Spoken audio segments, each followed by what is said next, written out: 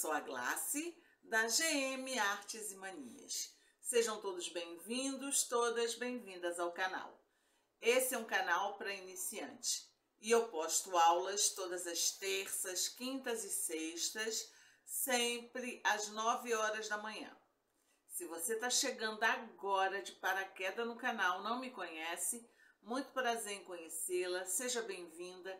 Não se esqueça de se inscrever e acionar o sininho para ser notificada de toda novidade. E se você já me acompanha, obrigada pela companhia. Verifique se você realmente é inscrita no canal. E ó, vamos dar like, meninas, vamos curtir o vídeo.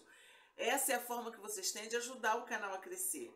O like de vocês é o pagamento da artesã, tá? Hoje nós vamos fazer mais um barrado de pano de prato. Pano de prato é uma peça que ela é muito vendável, porque ela gasta pouco material, é rápida de fazer e para quem está iniciando é o ideal, porque ela é fácil, o passo a passo dela é fácil e você pode diversificar no, na arte de vocês. Nós vamos fazer esse barrado aqui. Olha que barrado lindo, gente. Ele é muito bonito, muito bonito. Ó, que delicadeza. Não precisa nem de um complemento de pet aplique. O único aviamento, os únicos aviamentos que eu utilizei foi a cianinha. E vocês vão ver como botar a cianinha assim, ó. Tão bonitinha. E o babado de bordado inglês, tá? Eu utilizei a reguinha que nós já fizemos aqui no canal. Então, tá tudo, o passo a passo está bem detalhado, fácil de fazer. Eu espero que vocês gostem. Acompanha direitinho. É, coloque nos comentários sugestões de aulas, tá? Dúvidas. Aos poucos eu tô vendo. É, tudo sou eu que faço sozinha. Então, é claro que eu não, não dá, não, eu não, não dá vazão de eu ver todos os comentários. Mas pode ter certeza que eu vou dar uma olhadinha no seu comentário sim, tá? Ó, um beijo grande no coração de todas. Vamos tá trabalhar para fazer esse nosso pano de prato. Vocês já viram ele na foto aí. Nós vamos precisar de um tecido para pano de prato. Eu compro os meus tecidos de pano de prato a metro, corto eles com 50 centímetros, faço uma bainha estreita em, em cada lateral, cai para 47 centímetros. Eu faço, quem acompanha o canal já sabe, eu faço barrado nas duas extremidades. Eu faço um barrado que eu chamo barrado principal, que é aquele barrado mais bonito, que chama a atenção no primeiro instante. E faço na outra extremidade um barrado que eu chamo barrado secundário. Ele faz muita diferença na hora de vender, porque a maioria dos panos de prato que são vendidos nas feiras, nos supermercados, não tem esse acabamento aqui que é muito útil para dona de casa. É um barradinho estreito que tem um elo de tecido para dona de casa pendurar na sua cozinha. Isso faz diferença, faz um para você, usa na sua casa. Eu tenho certeza que você vai ver a diferença que ele faz, tá? É muito útil. Se você quiser aprender a fazer esse barradinho aqui, secundário, se quiser aprender a fazer esse tipo de bainha bem estreitinha, que fica ótima com o acabamento do pano de prato, eu vou deixar na descrição desse vídeo aqui embaixo o link da aula de três dicas de acabamento para pano de prato. É uma aula que vocês não podem perder, tá? vai aparecer um cardzinho aqui em cima. É só clicar, já vai direto para a aula. Então, vamos lá. Primeira coisa que nós vamos fazer é dobrar o nosso pano de prato. Ó. Dobra o pano de prato. No meio certinho. Vamos passar, vincar ele certinho. Aí aqui, ó, nessa beiradinha aqui, nós vamos marcar 5 centímetros, tá? Ó, 5 centímetros. Pode ser com lápis mesmo ó, 5 centímetros e riscar aqui, tá? Aqui é a dobra do tecido. Nós vamos marcar 7 centímetros, tá? Aqui. Então, aqui para cá 5, daqui para cá 7. Ó, deixa eu virar assim, que acho que vai dar pra vocês verem melhor. Aqui nós vamos descer esse 7 aqui, aqui é a dobra do, do, do tecido. Nós vamos descer esse morrinho assim, ó, até chegar lá nos 5, tá? Desse jeitinho aqui. E vamos recortar em cima do risco que nós fizemos. Desse jeitinho aqui, ó, tá? Recortamos. Aí, ó, o nosso barradinho vai ficar desse jeito aqui, ó. A parte de baixo do nosso pano de prato vai ficar com esse formato aqui. Aqui retinho. E aqui vai ficar uma ondulação, tá? Vai ficar uma curva.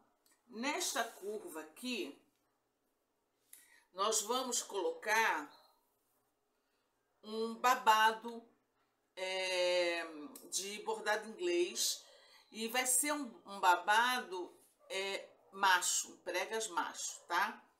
Então é assim, eu cortei aqui um tecido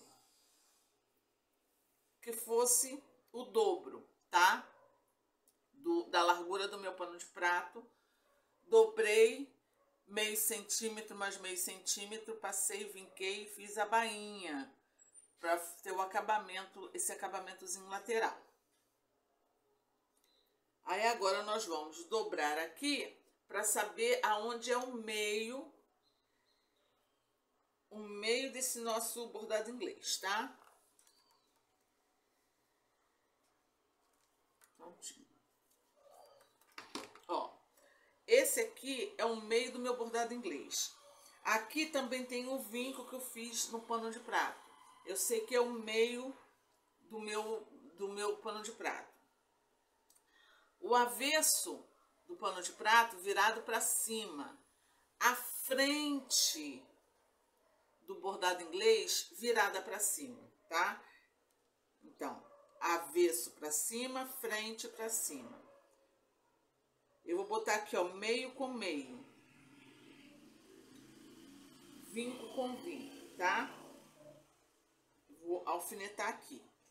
Essa partezinha aqui, que tá com a bainha, eu vou botar nessa quinazinha aqui, ó. Não é aqui não, que aqui tem a parte reta. É aqui no final do morrinho, tá? Eu vou botar ela aqui e vou alfinetar também. Esse outro lado é a mesma coisa, ó. Tá aqui, o morrinho termina aqui e aqui vem reto. Então, é aqui onde termina o morrinho que eu vou estabilizar meu tecido, meu bordado inglês, tá? Aí, agora nós vamos fazer, a partir do centro, vamos fazer as nossas pregas. Macho. Prega macho é o quê? É uma para um lado e a outra para o outro lado. Ó, é isso aqui.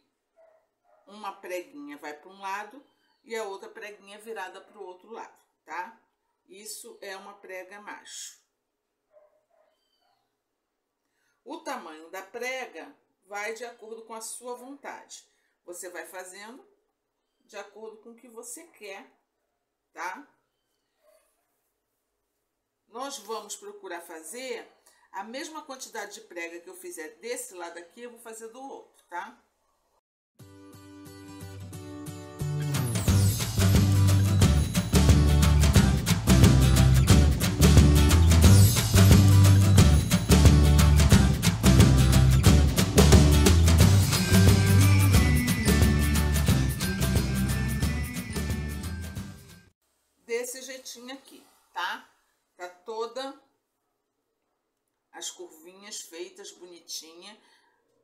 Aí nós vamos lá para a máquina, vamos fazer uma costura na beiradinha, que é uma costura de proteção para poder tirar os Aqui, eu já passei a costura, Aí agora eu vou dar uma abaixada, vincando com ferro, uma abaixada nessa, nessas pregas, tá?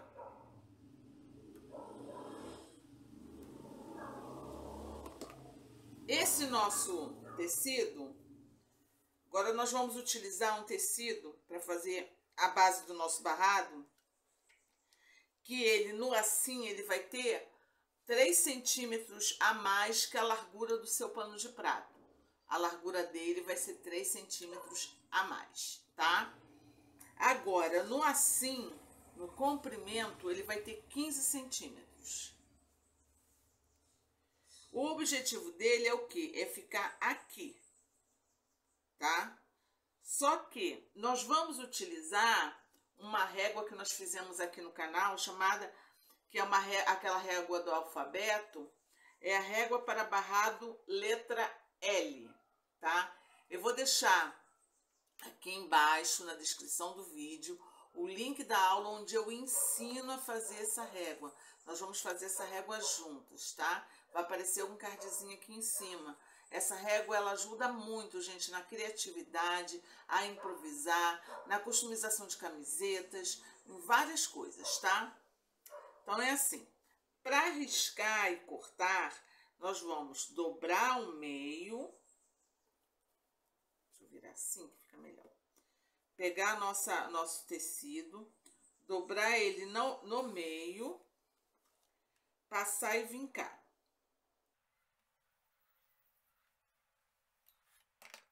Essa parte aqui, essa parte aqui, ela vai ficar para cima do barrado. Então, se o seu tecido tem um desenho e o desenho tem uma direção, você vai botar ela para cima, tá? Desse desenho, na parte de cima do desenho. Aí, outra coisa que você tem que ver é a seguinte. Aqui, nessa beiradinha aqui, vamos marcar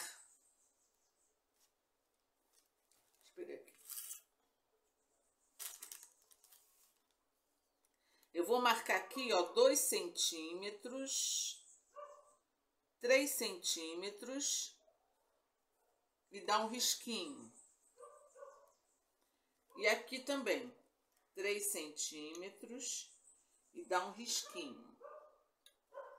Então, essa pontinha aqui, ela vai ter que ter encostadinha aqui, nesses três centímetros, e essa também, tá? Pra ficar tudo ok nós só vamos riscar essa parte daqui de cima, tá? A parte de baixo é reta.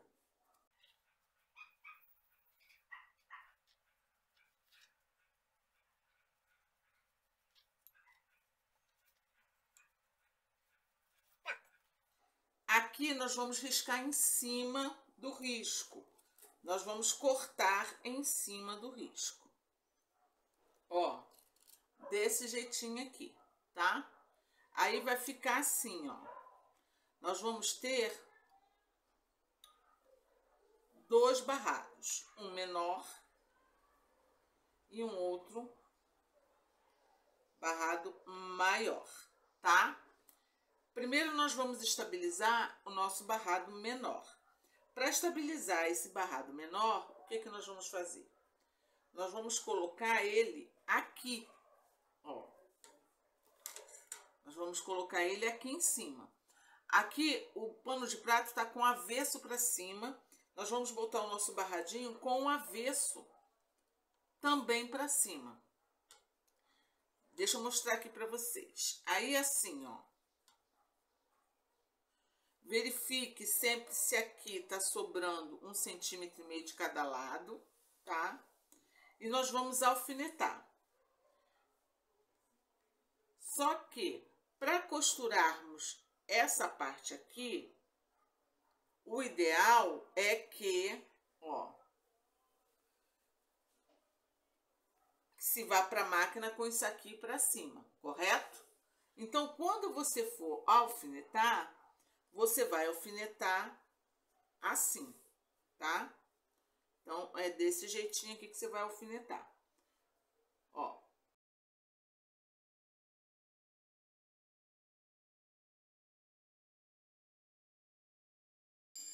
vai ficar assim, beleza? Nós vamos lá para a máquina, nós vamos fazer uma costura aqui, ó, de um pezinho de máquina, tá? Ó, desse jeitinho aqui. Retrocesso no início, retrocesso no final, vindo acompanhando o tecido do pano de prato.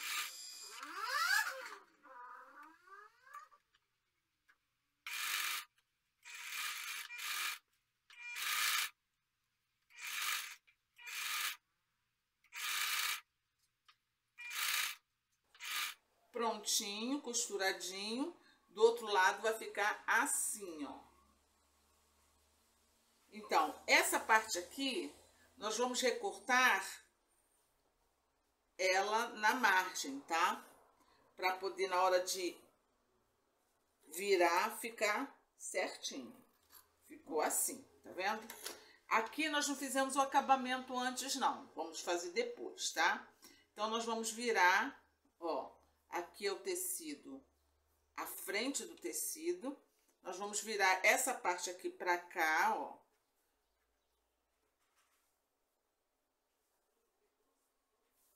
Passar direitinho.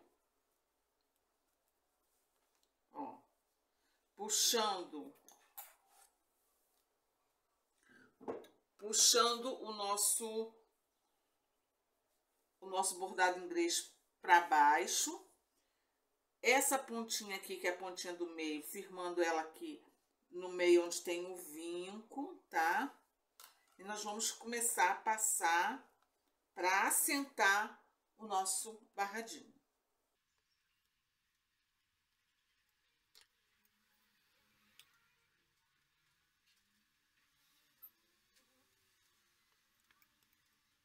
É, quem me acompanha sabe já viu, eu gosto muito de utilizar a cola de tecido.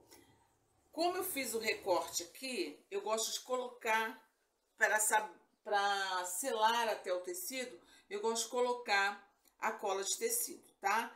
Então, eu vou colocar a cola de tecido aqui, ó, nessas beiradinhas.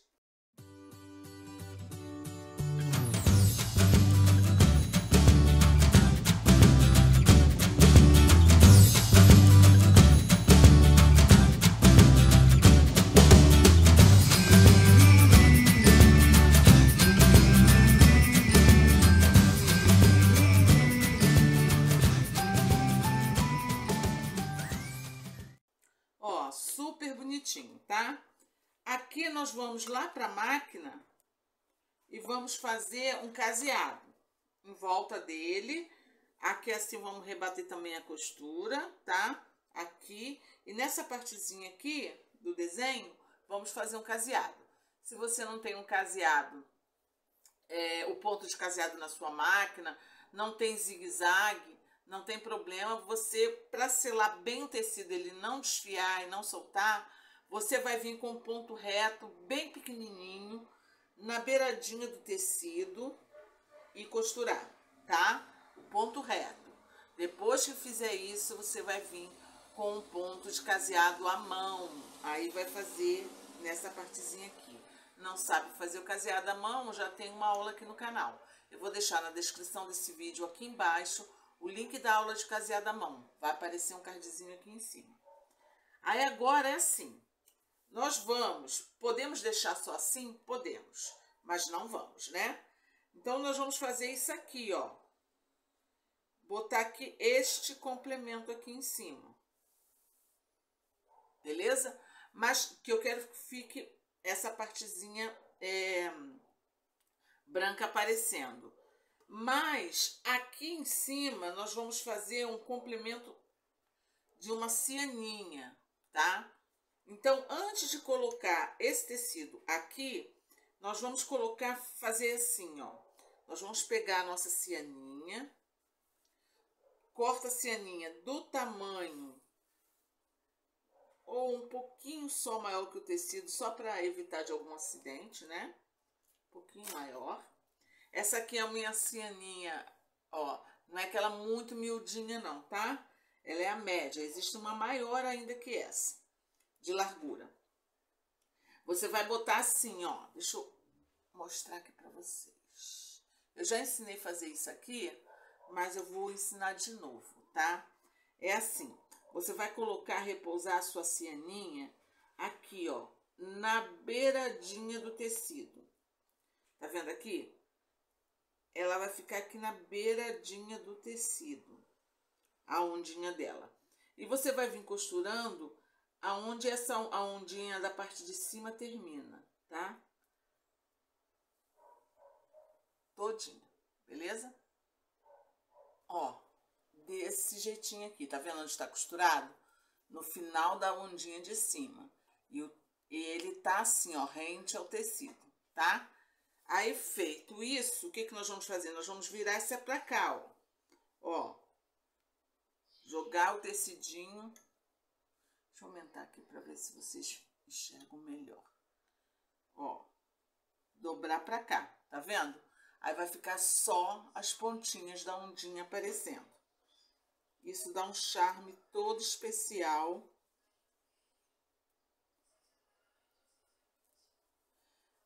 Vamos passar um ferro, mas cuidado quando for passar o ferro, porque geralmente essas, essas cianinhas, elas são material sintético, tá? Então, ela, elas podem, vocês podem estragar a cianinha. Então, passa, mas passa mais em cima do tecido do que em cima da cianinha. Aí assim, tá? ó, aqui é o meio, ó. Aqui é o meio, né? Deixa eu passar aqui. Então, ele vai ficar aqui, ó, no meiozinho também. Ó. E o ideal é que fique na mesma direção, tá? Então, eu vou fazer aqui um risco, ó eu vou riscar aqui do morrinho para cima 4 centímetros, tá? Fiz um risco. Então, desses morrinhos aqui para cima, 4 centímetros e risquei. Porque é nesse morrinho que eu vou repousar aqui, ó, minha cianinha. Que aí eu tenho certeza que vai ficar to... a distância vai ser sempre a mesma, tá? Ó desse jeitinho aqui. Eu vou alfinetar primeiro a parte central e depois eu venho alfinetando as outras partes.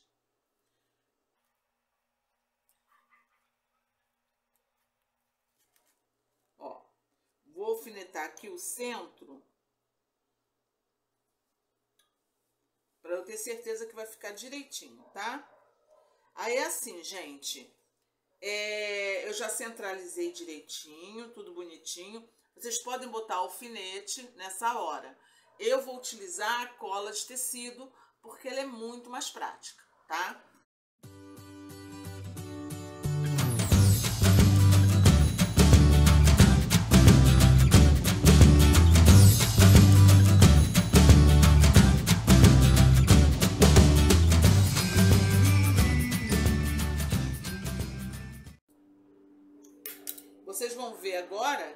Vai sobrar aqui e aqui. Esse excesso nós vamos cortar rente ao tecido do pano de prato. Ó, desse jeitinho aqui. Feito isso, nós vamos lá para a máquina e vamos fazer um caseado. Vamos fazer um ponto reto aqui, aqui, ó, rebatendo. E nessas partes aqui, vamos fazer um caseado, tá? Como eu já falei antes. Aqui eu também vou fazer um caseado.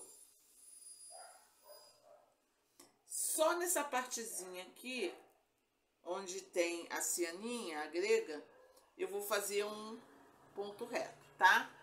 É o que eu falei antes.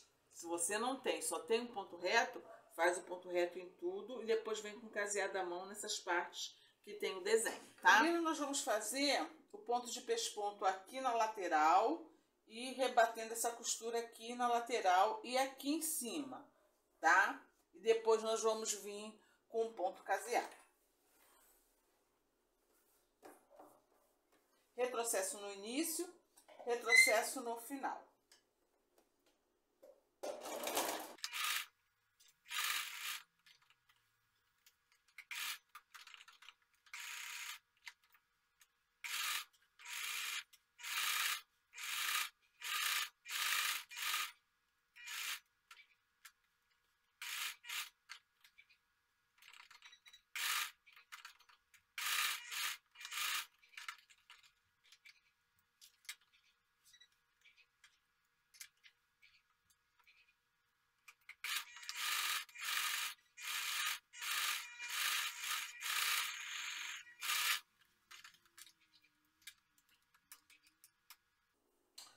Pronto, agora mudei para o ponto de caseado. Nós vamos vir fazendo caseado nos recortes, tá?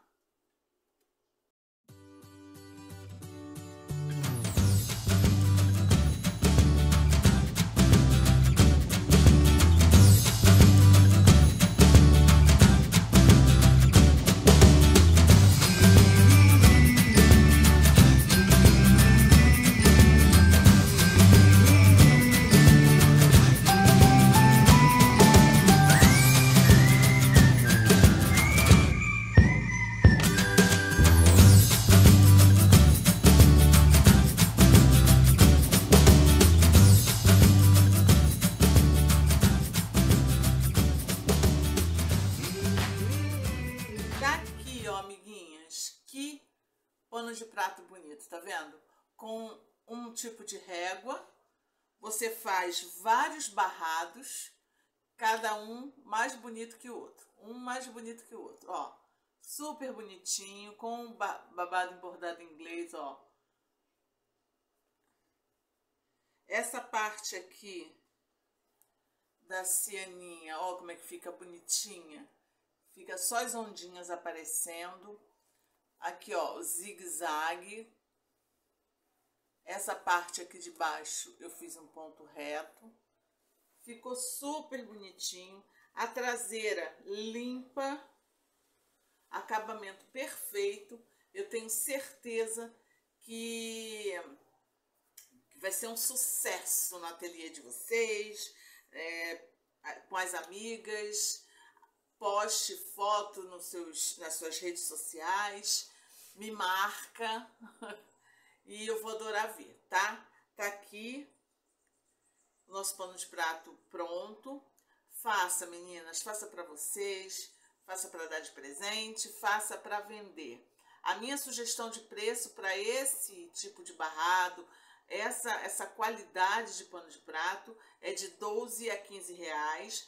Vai depender, é claro, da região onde vocês moram, do valor do material que vocês compram, tá? Eu espero que vocês tenham gostado desse passo a passo.